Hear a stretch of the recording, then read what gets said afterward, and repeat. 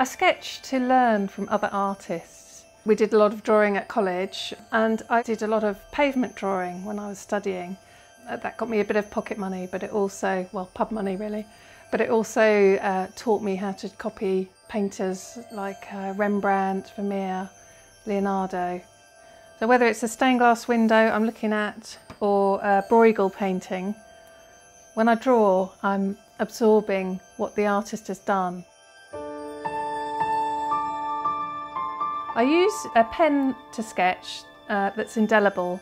Once I've done my outline with the pen, I then use my watercolours and it stays in my memory much longer if I've sketched it.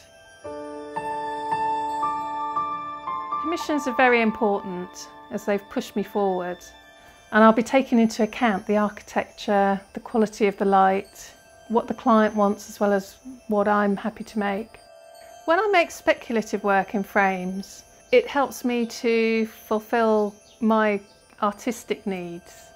But what I don't know is where it's going to end up or how it's going to be displayed. It's becoming increasingly hard to get the right materials. To get those I have to either go to the Midlands or to Liverpool if I want to choose the right sheets. Lambert's and English antique glass, each sheet is different and has a character of its own. The course that I learned on at Central St Martin's has been closed down and various other courses are shutting. So it is very hard now to get the right training. I'm starting to teach in my studio here so that I can share the skills that I've learned from my experience uh, and pass them on so they don't die out.